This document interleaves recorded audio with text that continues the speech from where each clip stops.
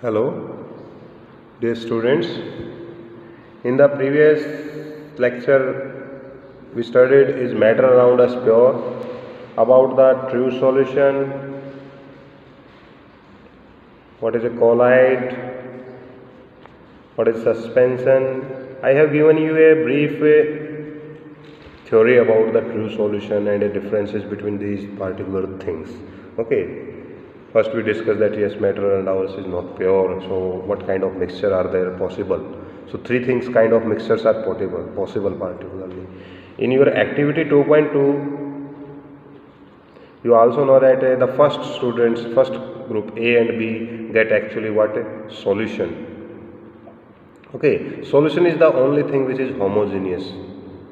The rest mixture are heterogeneous, mean to say colloid and suspension you are getting is actually in nature heterogeneous.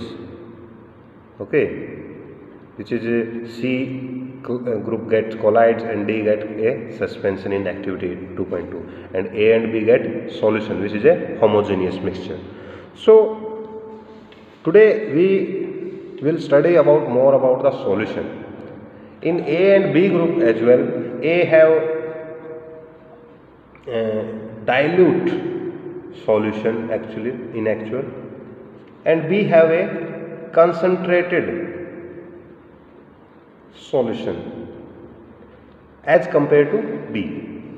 Okay so concentration solution of B as compared to A. How? We just uh, study some things. Let's first know that what is solution actually. Solution actually contain two things particularly basically known as solute and solvent. Okay solute is substance to be dissolved. Okay or in another words you can say substance present in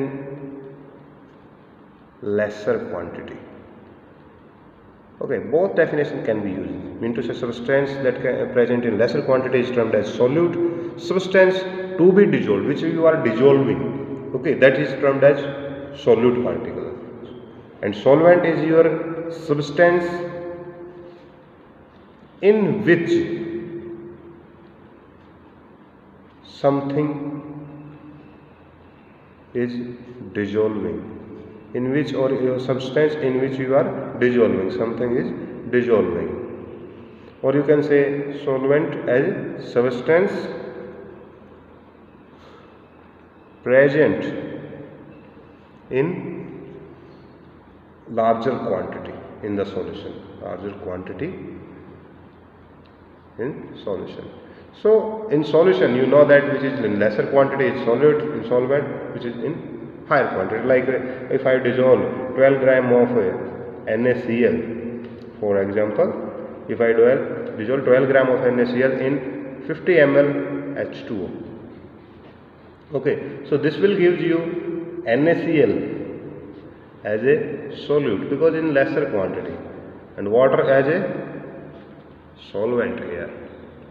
Okay now let's again discuss what is the thing in between A and B. You know that A taken 10 gram copper sulfate and dissolved in 50 ml water.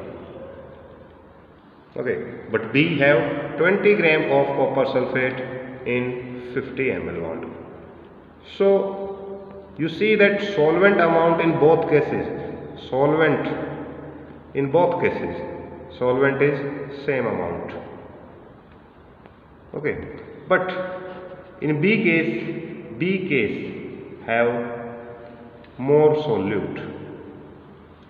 And that's why that's why it is concentrated. Okay as compared to A. As compared to A. So that is the basic reason we are saying here that yes B have a concentrated solution. Okay. So first thing you must know that what is the solute term and solvent term okay.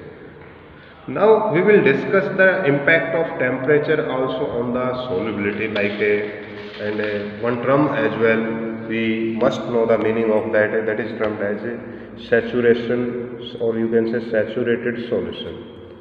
Before that we must have to discuss something. Let's suppose take a beaker over here. We have 50 ml water here 50 ml H2O I start dissolving NaCl in this. Okay. Now you see that here the temperature is actually 25 degrees Celsius. Room temperature we have normally taken. So we start dissolving NaCl in this one. You will see that after some times it keep on dissolving but after some times it will start settling down. Mean to say no more solute. That is solute can be dissolved in solvent at this temperature. But if you increase the temperature than 25 degrees celsius then what will happen? More will be dissolved. Okay. So what does the saturated solution mean to say? A solution in which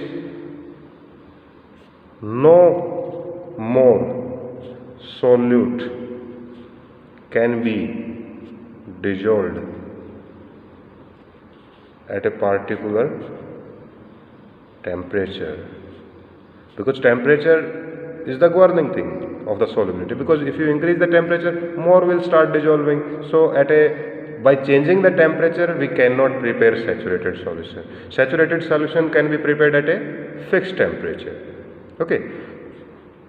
Now you know that if you increase temperature solubility will be more solubility become more. But what if you decrease the temperature? This is a question asked you in the next activity that what will happen if you decrease the temperature?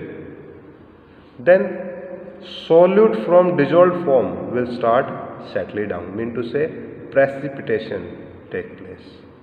Precipitation or you can just simply say condensation take place. Condensation of solute particles.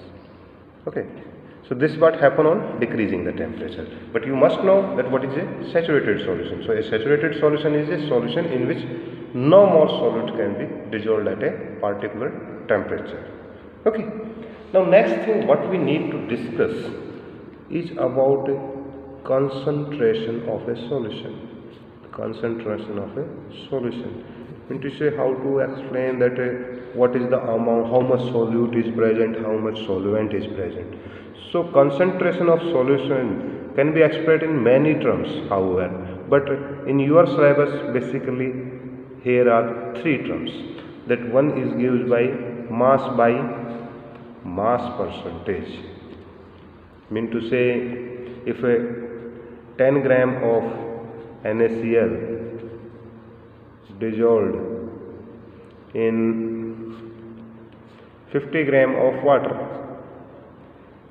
So what is the mass percentage of solute? Let's say mass percentage of solute. Solute is you know very well in lesser quantity that is NaCl. So what is the mass of the NaCl? 10 gram. What is the total mass of the solution? Or you will say mass of solution will be below. Or here it will be mass of solute into 100. So in this case it will be 10 by 60 because mass of solution will be 50 plus 10 60 into 100 okay so the whole thing comes out uh, will be 16.6 percent round about so this is mass by mass percentage. This is the first terminology. The second is mass by volume percentage. Okay in which what you will say? That uh, mass percentage mass by volume percentage mass of solute is mass by volume percentage you will say is equal to mass of a solute next time here in this case mass of solution here you will write down volume of solution okay and here into 100 to give the percentage. So it is m by v representation. Third thing is volume by volume percentage. So in this what we will do that mass of sorry volume of solute divided by volume of solution into 100 that will gives you volume by volume percentage. Usually this is done when a solid is dissolved in a solid particularly, okay, or in liquid. This is what when a solid substance is dissolving in a liquid thing. These composition or concentration is termed in this manner when some liquid is dissolving in a, another liquid. Mean to say in this case solid is liquid as well as solvent also is a liquid condition. So this is what how we measure the concentration of solution particularly quite easy methods okay these are three methods particularly in our syllabus okay so today you will read up to solution complete. Okay? Next thing you will sort out 10 cues and answer in your rough notebook. Okay? And solved example as well. Solved example in rough notebook okay thank you